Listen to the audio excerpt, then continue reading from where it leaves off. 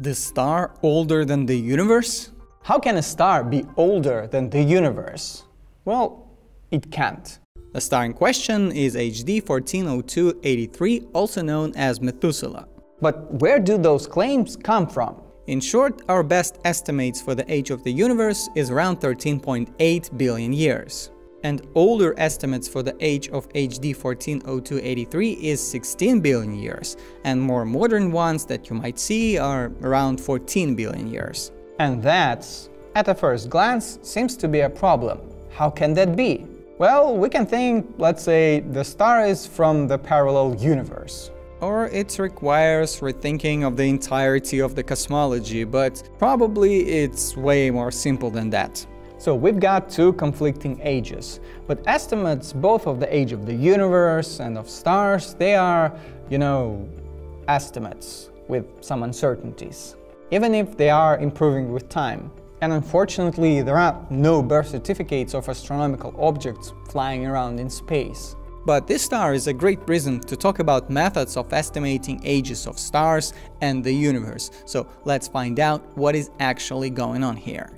My name is Andre and this is Cosmos Elementary. Let's begin with the age of the universe. The idea that the universe even has an age comes from the discovery of an expanding universe. If space-time is expanding and galaxies are getting farther from each other, in a thought experiment we could run time backwards and galaxies would start moving towards each other until they got to a single point. So in the past there had to be a moment when the expansion started, what is nowadays called the Big Bang.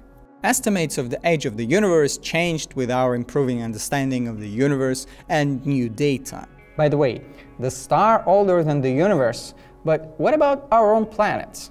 In the late 20s of 20th century, Edwin Hubble calculated the age of the universe and got the result of 2 billion years? At that time, Earth already was estimated to be up to 3 billion years old.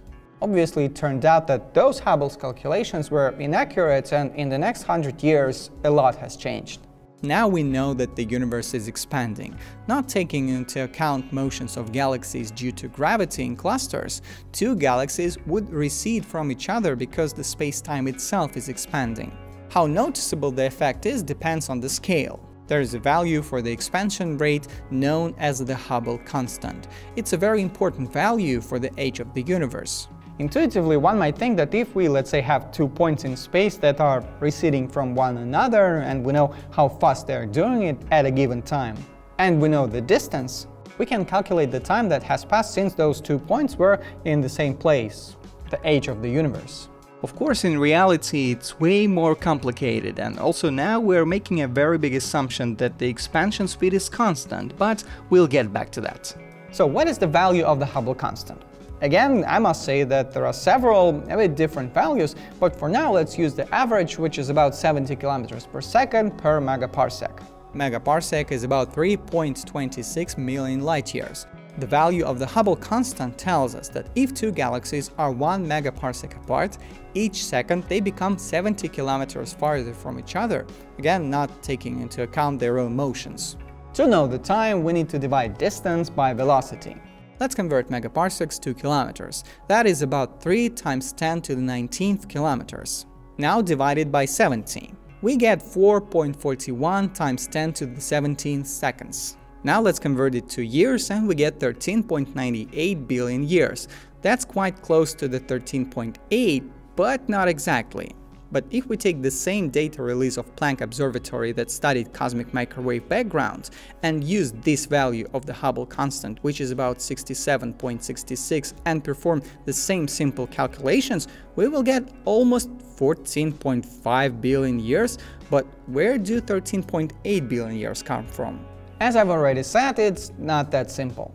Firstly, nowadays we know that the universe expansion rate is not the same all of the time, it's accelerating. Also, we have to take into account the composition of the universe, how much regular and dark matter, how much dark energy there is, and so on. And as a result, with this Hubble constant, accounting for various factors, we come to the conclusion that the universe is about 13.8 billion years old. But there is another problem. Different methods of determining the value of the Hubble constant give a little bit different results. CMB measurements result in about 68 km per second per megaparsec, whereas Cepheid variable measurements give 73.4. There are also methods with somewhat average results. Still, the difference is substantial enough to create an issue. That also leads to different estimates of the age of the universe and other important parameters. That can happen because of some inaccuracies in measurements, or else scientists just don't understand or don't account for something yet. This issue is even sometimes referred to as the crisis of cosmology. And also, there is even articles like this one, with the Hubble constant of 82.4 and the age of the universe of 11.4 billion years. But that's not consistent with observations of distant galaxies with high cosmological redshift values, which imply their age of over 13 billion years. Anyway, there is a chance that even the most accepted estimate of 13.8 billion years will change in future, but for now it's the best we've got. And now let's get to stars. The task of estimating the age of the universe is really hard, but determining the age of stars is uh, also really hard. Actually, there's only one star whose age we know pretty accurately. Our Sun. In short, everything in our solar system, the Sun, planets, the Moon, asteroids, etc., formed from the same fragment of the giant molecular cloud. There is a lot of evidence for that. Objects orbit the Sun mostly in the same plane and in the same direction, also, planets rotate mostly in the same direction, except for Venus and Uranus, which was probably caused by giant collisions in the past. This and a lot more point to the fact that planets formed in the protoplanetary disk around the infant Sun. That is also supported by observations of other systems with protoplanetary disks and possibly forming planets. Then we have ancient samples in the form of meteorites, specifically chondrites which have remained almost unchanged since the solar system formed. And methods of radiometric dating, for instance lead-lead dating, allow us to determine the age of those meteorites, hence the age of the solar system and the Sun itself, which is estimated to be over 4.5 billion years. But for other stars we basically can't measure ages directly, we can only estimate them with some precision. The more we know about the star, the better. Mass, luminosity, surface temperature, chemical composition, how active it is, how it moves and rotates, and so on. All that we have to apply to understand how a star evolves and changes over time. Sometimes we can quickly give a rough estimate. Let's say we're seeing a massive blue O-type star. Its main sequence life cycle is usually only about several million years, which means that the star has to be about several million years old. Or we can tell that the star is very old if it has very low metallicity, fraction of elements heavier than hydrogen and helium. Those heavier elements are produced in processes that involve stars. If metallicity is low, that means that probably the star formed very early in the universe, which means it is billions of years old.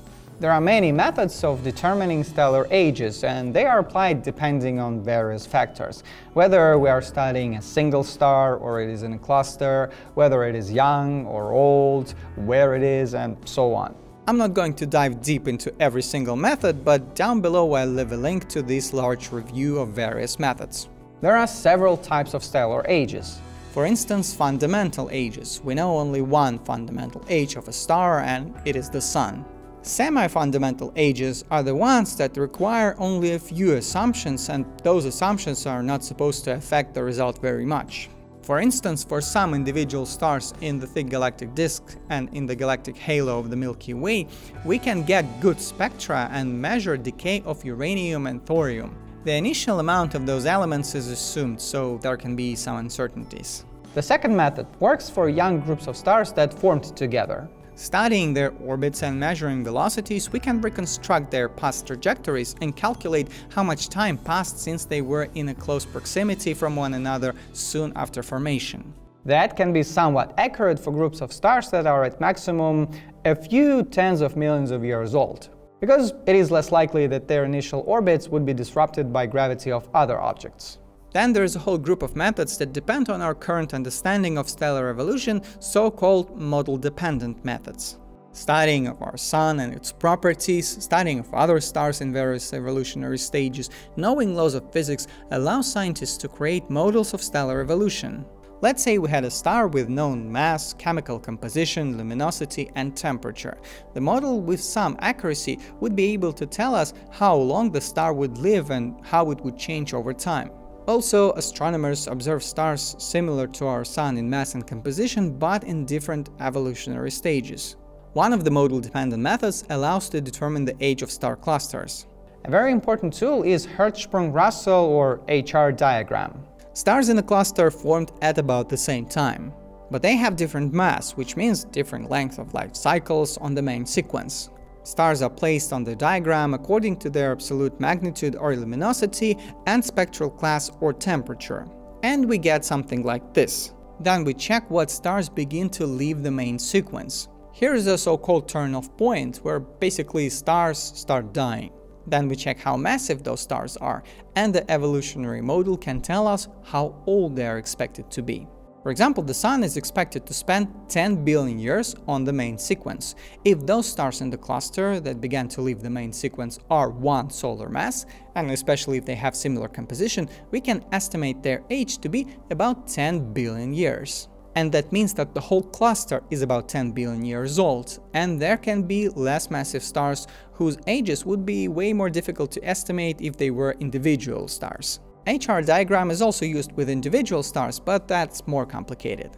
There are other model-dependent methods based on astroseismology or lithium depletion and so on.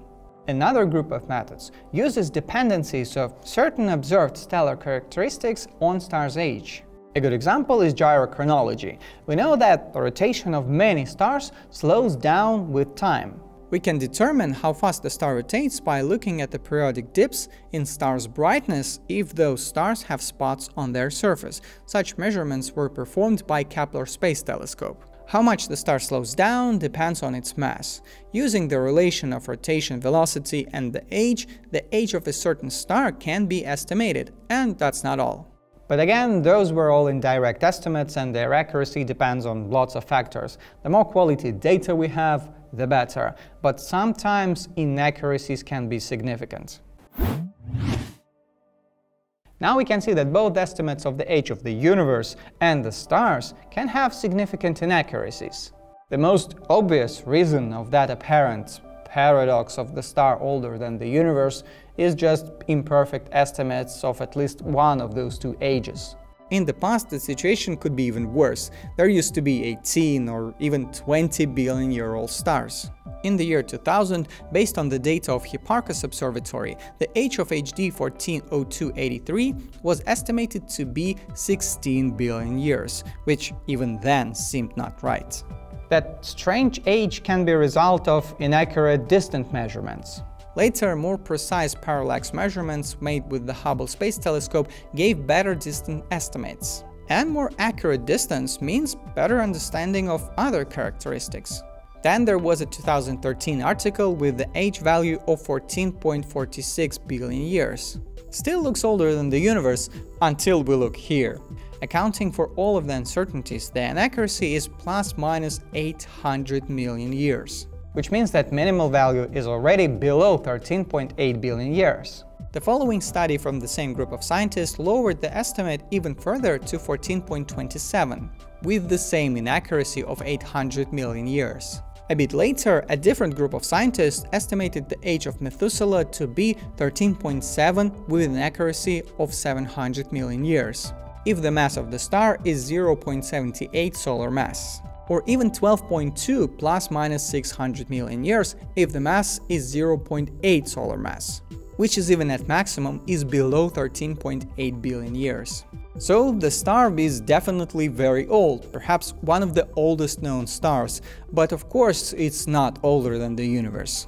Determining ages of astronomical objects is very difficult, and yet the methods are getting better and better. Astronomers 100 years ago couldn't even dream of the abilities we have now. Who knows what we will learn in the next 100 years? Thanks for watching. Links to all of the sources are down below in the description. If you enjoyed the video, leave a like, comment and subscribe. Bye!